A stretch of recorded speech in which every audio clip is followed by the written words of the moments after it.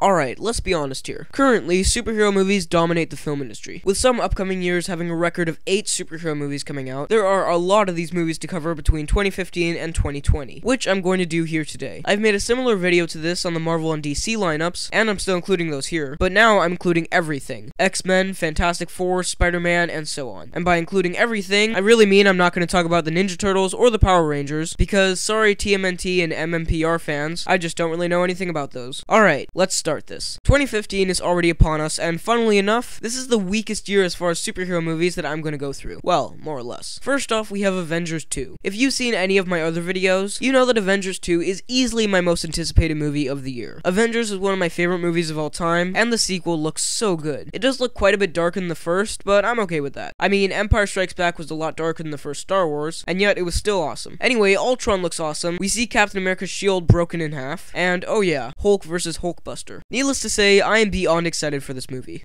No strings on me.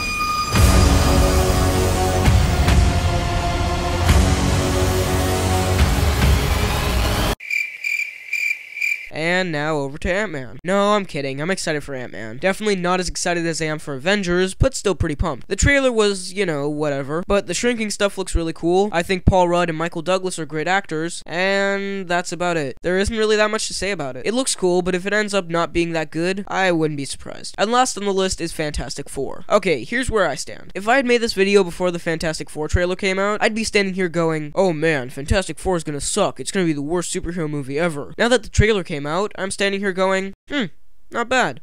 Looks pretty cool. That trailer honestly swayed me from thinking the movie was going to be bad to thinking the movie was going to be cool. It looks like it has grit, the powers look actually pretty good, Thing looks awesome. I still have some reservations about the story and cast, but overall, this has now piqued my interest. Alright, now I get into the big years. 2016 might be the best year in superhero movies. We have 8 of these movies coming at us, and all of them look incredible. Well, almost all. First off, Deadpool. Oh. All I know about this is that Ryan Reynolds is perfect for the role, the test footage looks amazing, and I am super pumped. Deadpool is such a fun and weird character. This could be one of the most unique superhero movies out there, with the main character constantly breaking the fourth wall and making pop culture references. Oh, hello there. I bet you're wondering why the red suit. Well, that's so bad guys can't see me bleed.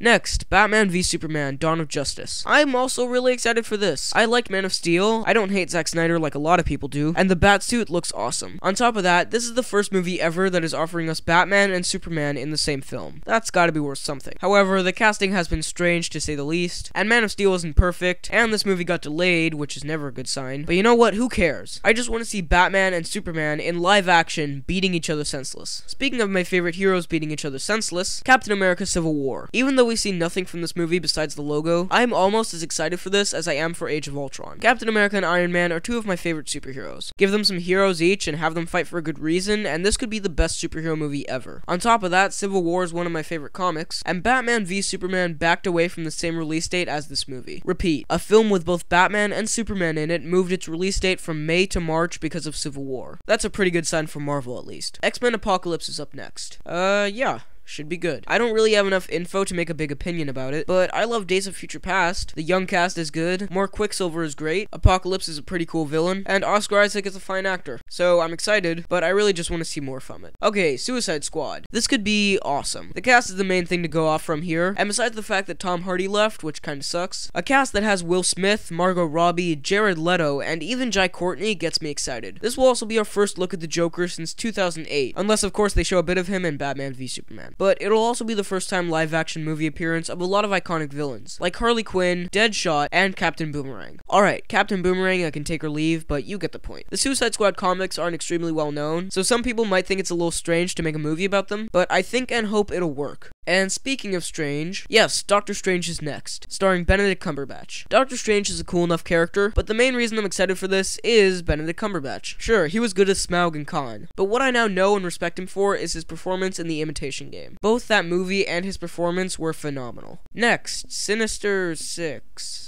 Um, the current state of the Spider-Man franchise, I think we can all agree, is not that great. The spin-off could be good. The team has some interesting villains. I assume it'll be starring Dane DeHaan as Green Goblin, which is alright. Paul Giamatti as Rhino, which isn't that good. And possibly Michael Massee as the Gentleman. It'll be directed and written by Drew Goddard, who wrote Cloverfield, World War Z, and directed Cabin in the Woods. Having seen none of those, I can't really comment, but he is directing the upcoming Daredevil Netflix show, which looks pretty cool. So this one, eh, could be good, could be bad. And finally, Gambit, the third X Men movie in one year. This should be good. Channing Tatum as Gambit sounds fun, and it's being written by Chris Claremont, who wrote a few episodes of the X Men cartoon from the 90s. So, yeah, it has potential. Alright, finally, let's move on to 2017. Now, look, there are a lot of superhero movies this year, so I'm going to do another one of my famous Speed Rounds, a third Wolverine movie. The first one sucked, the second one was pretty good. This could go either way. This might also be the last X Men movie with Hugh Jackman, so hopefully his send off will be a good one. Guardians of the Galaxy 2. I can't wait for this. Guardians of the Galaxy 1 was hilarious and such a fun movie, and with all the cast and director James Gunn returning, this will hopefully be just as awesome. Wonder Woman. Yes, in 2017, we are finally getting a Wonder Woman movie. I'm not quite sure how this will turn out. It'll be directed by Michelle MacLaren, who's known for doing episodes of Breaking Bad and The X-Files, so that's promising. My only concern is Gal Gadot as Wonder Woman. She looks the part, but we haven't seen her acting in the role yet, so if she's terrible in Dawn of Justice, then I'll be way less excited for this. Also, someone let me know, is it Gal Gadot or Gal Gadot? Fantastic Four 2.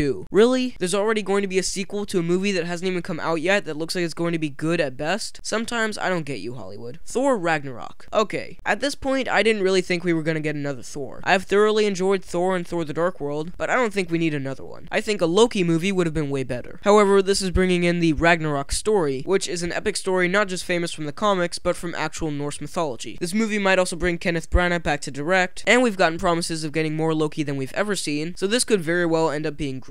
Black Panther. Yeah, looks good. I haven't seen 42 or Step On Up, but from the things I have seen, Chadwick Boseman seems like a good guy and a good fit for Black Panther. And finally, Justice League. Honestly, I'm really hoping this will be good. I love the Justice League, so it's really exciting to finally have the prospect of them being on the big screen in live action. The cast looks good, and like I said, I don't hate Zack Snyder. I hope they don't take an extremely dark tone on this, but we'll just have to wait and see.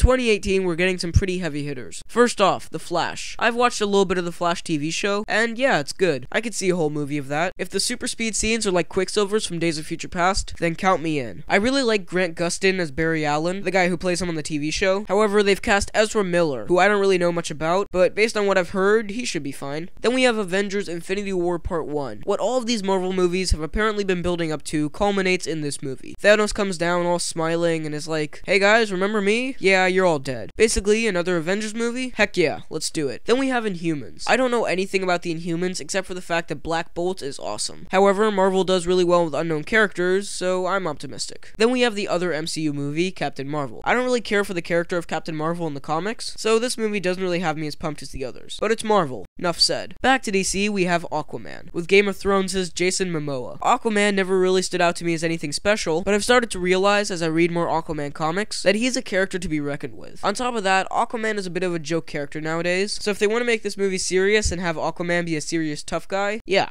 Jason Momoa is the way to go. Now, 2019 only has three that have been announced, the first of which is Shazam. This looks like it's going to be awesome. DC has said that this is going to be separate from the rest of the universe, which means that it can be a lot lighter in tone. On top of that, it has The Rock in it, which is just something that every movie should have. Next, we have Avengers Infinity War Part 2, the hopefully epic conclusion to the Avengers saga. This movie does mark the end of a lot of actors' contracts, like Chris Evans, Chris Hemsworth, and Robert Downey Jr., until, you know, he feels like a $50 million paycheck. Then we have Justice League 2. Didn't I just say this? Why would you put a release date for a sequel when the first movie is over two years away? What if Justice League 1 completely bombs? I mean, it won't, but hypothetically speaking, what if everyone hated it and no one went to see it? What then? This is such a stupid trend that movie studios need to stop. Okay, rant over. And finally, 2020. Like I said in my other video, it's hard to make judgments on movies coming out in five years. In fact, it's kind of ridiculous. So, I'm holding off judgment on Cyborg and Green Lantern for now. They could be good, they could be bad, we won't know for at least a couple years. Alright, Before I go, there are some movies that'll probably be coming out in this time span that just haven't gotten a release date yet. An X Force movie. Meh, I really wouldn't mind if an X Force movie never happened. A solo Batman movie with Ben Affleck and Jared Leto. Should be cool. Another solo Superman movie. Could be cool. And finally, a Justice League Dark movie. That is, not a Justice League movie that is dark, but a movie based on the comic run Justice League Dark. This would probably be done by Guillermo del Toro, which I probably said wrong, and it would be amazing. I mean, probably, I wouldn't know. Alright, correction. It sounds like it could be hypothetically amazing. So those are all the Marvel DC movies coming out over the course of the next five years. Which one are you most excited for? I have to say, Civil War and Justice League are probably the ones I'm looking forward to the most. Anyway, leave your thoughts in the comments. Be sure to hit the like button, and don't forget to subscribe for more videos like the one you just watched. Thanks for watching, and I'll see you next time.